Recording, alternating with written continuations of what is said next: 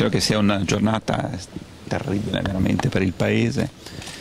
Eh, purtroppo siamo stati colpiti nella cosa che più ci sta a cuore, la scuola, i nostri giovani, luogo di democrazia, luogo in cui si costruisce il nuovo Paese. Purtroppo per ora non ci sono ancora elementi il ministro Cancellieri arriverà eh, nel secondo pomeriggio. Dottore, che cosa è emerso da questo incontro? Eh, ci siamo un po' confrontati sulle possibilità e abbiamo visto che in realtà eh, l'impressione è di un atto che possa avere dire, una risonanza terroristica che non siamo ancora in condizioni di attribuire e di ricostruire in maniera esaustiva. Ci sono tante coincidenze, potrebbero essere solo tali. Eh, qualcuno che potrebbe aver usato queste coincidenze magari per non far capire la matrice del gesto?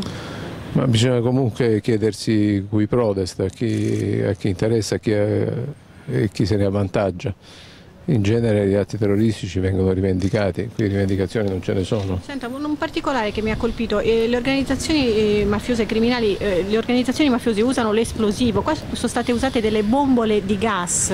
E quindi potrebbe non essere un'organizzazione mafiosa terrorismo internazionale, procuratore?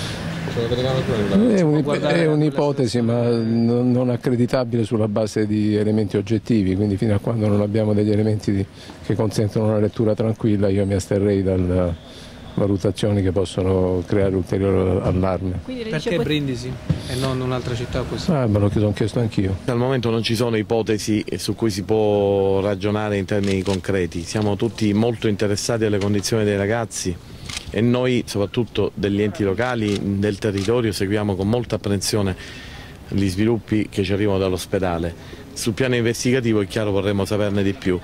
Un dato è certo, eh, forse io mi sento di escludere un ruolo a qualsiasi livello della criminalità organizzata, soprattutto di quella locale.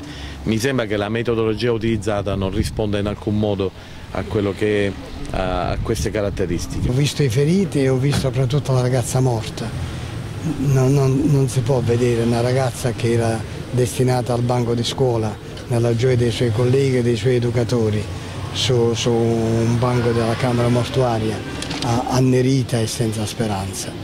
E nessuno può andare fiero di, di, di, di, queste cose e mi auguro che anche la, la città intera eh, nello sgomento sappia aprirsi ancora di più a gridare la vita e i valori della vita. Molte volte si scherza su queste cose. La, la lotta alla malavita si fa con la, con la buona vita, con la vita buona e noi dobbiamo continuare su questo.